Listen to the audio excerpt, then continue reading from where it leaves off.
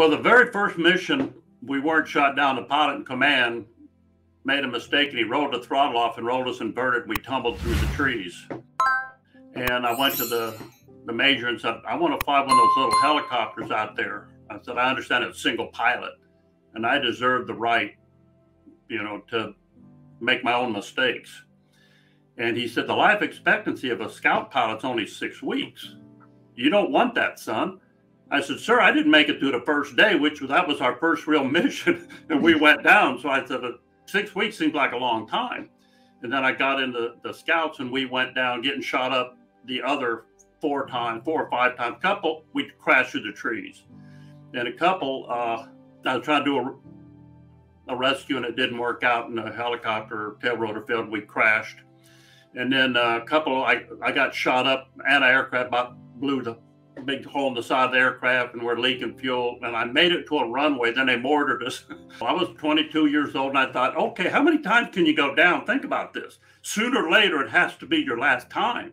So every time I went down, I thought, now I've used up all the times it's going to happen. I'm good to go. Uh, Huey got shot up.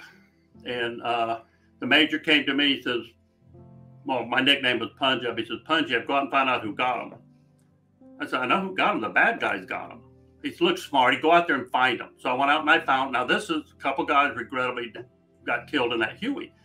Well, I found the base camp. The Cobra puts me in a general area, and I was blessed with eyesight that, yeah, again, a blessing from God. I could see things that a lot of the scout pilots couldn't see. And I had a phenomenal gunner with good eyesight, and he picked up some stuff too. It wasn't just me. I had a gunner that found as much as I did. And I found a base camp and I saw these little silver cylinders, knowing this is the base camp that shot up a Huey. And I'd already been down four times, four or five. I landed out in a rice paddy, got out, snuck into the base camp, and I was stealing stuff out of the base camp just for an adrenaline rush. It was, I mean, it was sinking in the mud, and I thought, oh my God, if the tail rotor hits water, I'm ruined. So I hopped in and I got us out. I told Steve, my gunner, the one that saved me, this, you know, later, fly this thing back while I, I buckle in. So we went, we rearmed. It was rice in those cylinders.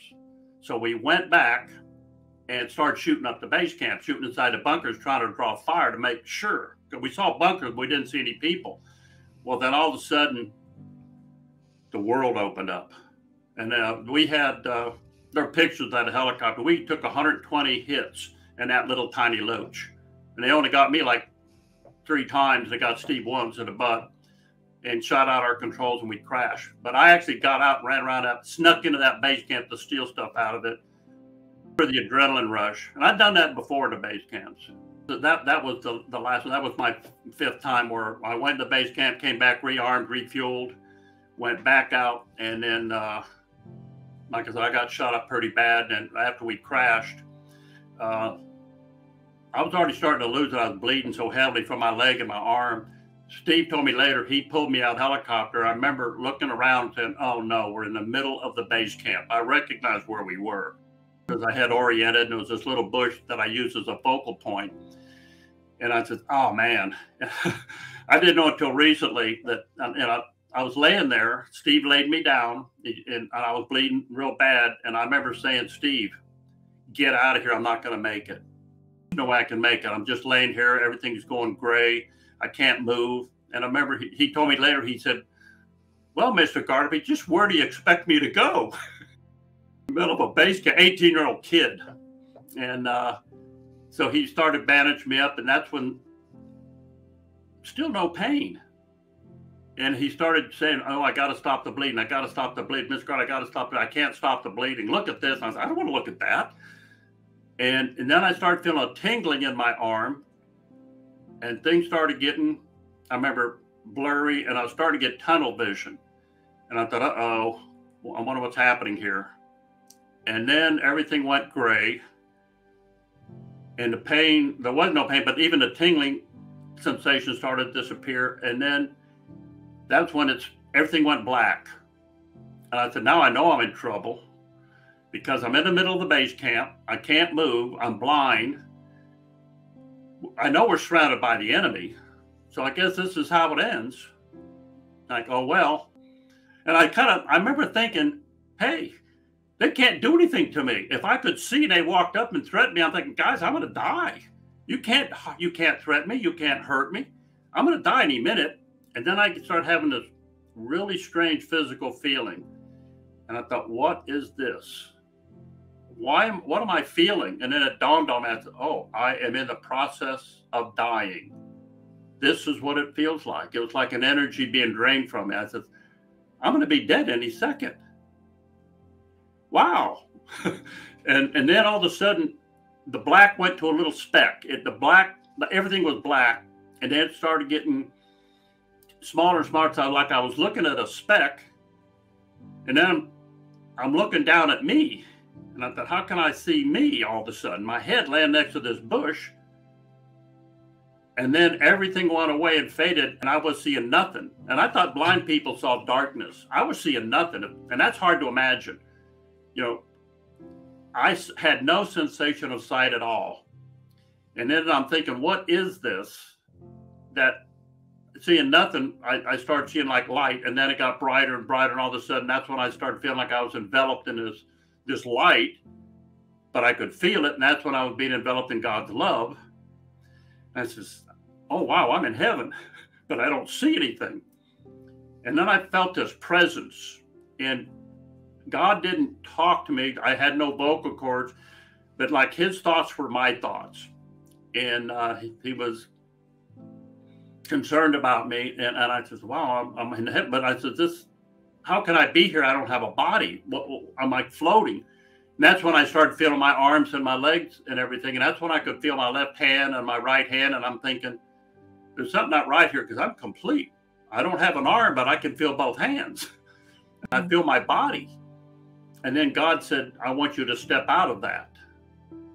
You know, he made known to me, he didn't say the words, but I knew what his thoughts were. He says, I want you to step out and join me into this, my, my world.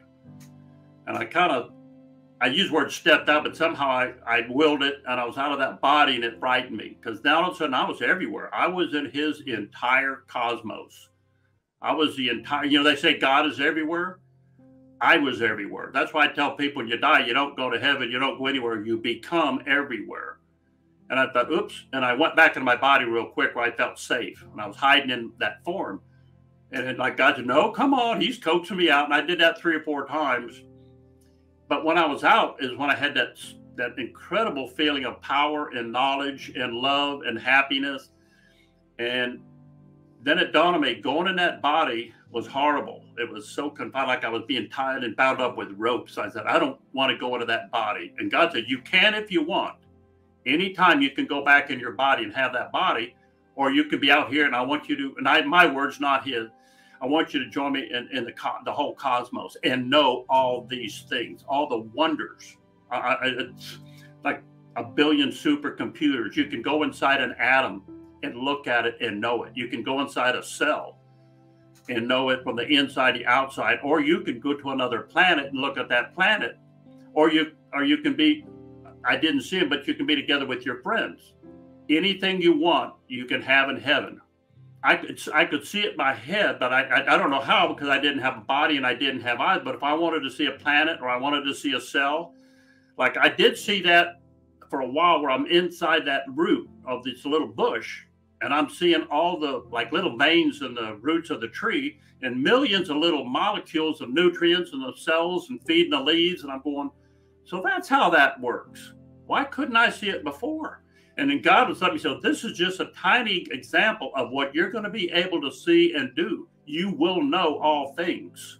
And all of a sudden, he gave me a vision, and these two hands came out of nowhere and are holding this little premature baby just being born and I was a preemie when I was born. And he said, like, this is how I see you. And he, I felt his emotions, and he was a proud father looking at me being born into heaven, like born again into his world.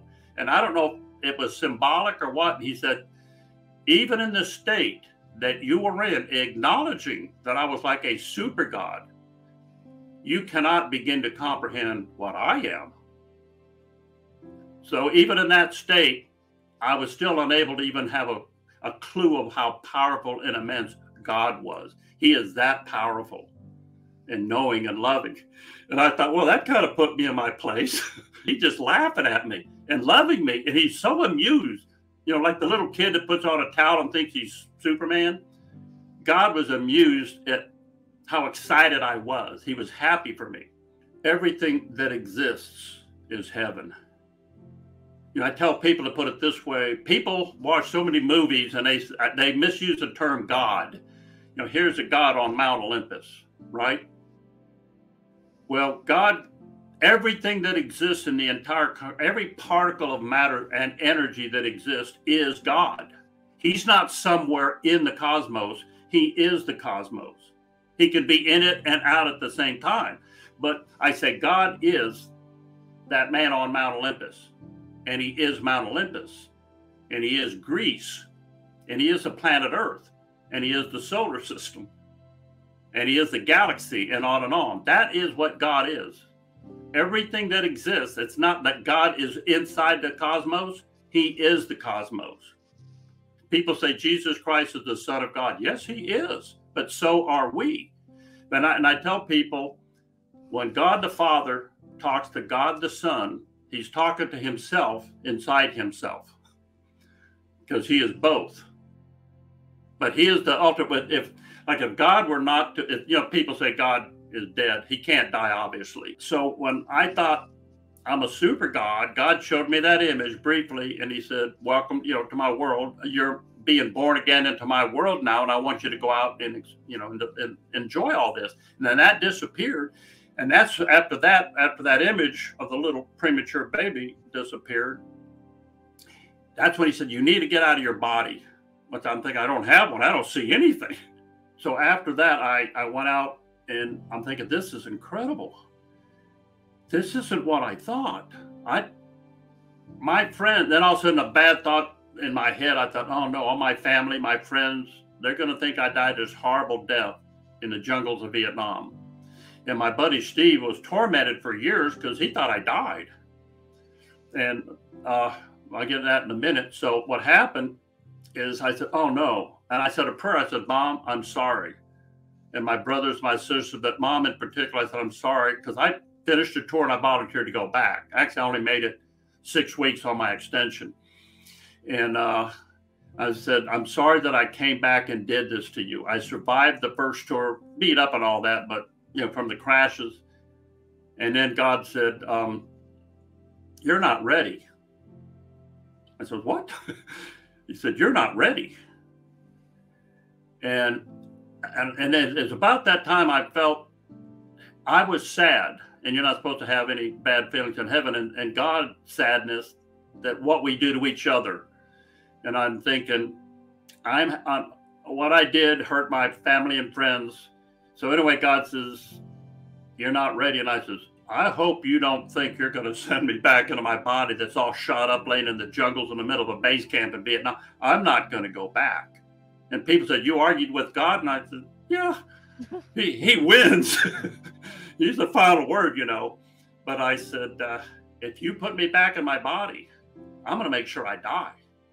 You can't do this to me. You can't show me heaven, an infinite life where I'll live forever and happy and loved, and, and I'll see all my family and friends, and then send me back with that body in the jungle.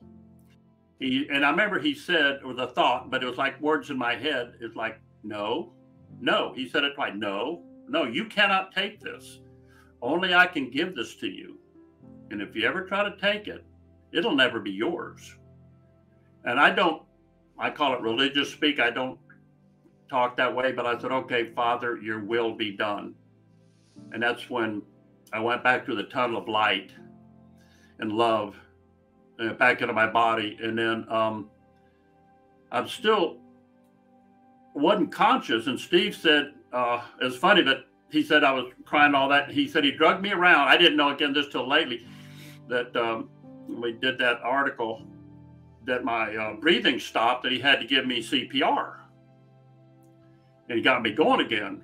And then quite a bit later, the Huey came in and got us and brought us to the hospital. And it was interesting there that that's when it got bad because they got me on the operating table. They got me conscious. Was still black. I couldn't see anything. And the pain, they started cutting on me without anesthesia because they said it would slow my heart. And that was horrible. I didn't know the human body could hurt that bad They got me strapped down, cutting on my arm. And then uh, all of a sudden, all the pain went away. And I started feeling real good again. And, and then I heard my gunner or my crew chief say, That's okay, Steve. You're going to be okay now. You're going to be okay. And I thought that was strange because everybody called me Punjab. That was my nickname. And he always called me Mr. Gardapi. And I thought, why did he call me that? And why did he yell in my ear? Why did they let him get that close to me on the operating table? It was just recently said I could not have heard him because he wasn't even in the room. He hmm. was there. I went flatline. They started yelling, "We're losing him! We're losing him!" And they said, "Get him out of here!" And they ran, hit my my gunner, my crew chief, out of the room. And when he was walking away, he said, "I know you're gone." He said, I, I drug you around the woods for two or the jungles for two and a half, three hours. You were in pain, screaming and crying, and now you die on me. I should have let you die then instead of going through hours of pain, which of course he didn't know I was going through hours of heaven. Uh, I said, How could I have heard you? He said, I said it in my mind. I said, I heard you like you were screaming in my ear. He said, That must have been when you went flatline again for the, I guess, the third time. Once in the jungle, once when he gave me CPR. And uh, there's a connection when we move out of this body that we've got, you know, you know, powers that the mind can't comprehend. But I figure that means he had some plan for me. He didn't send me back for, uh, I don't quite know what the purpose is, except to help other people. He wants us to help other people love each other. You know, what we do to each other, my mind can't comprehend why, why people, for a little bit of money or a little bit of prestige or promotion, we do to each other what we do. And I do know that makes him sad.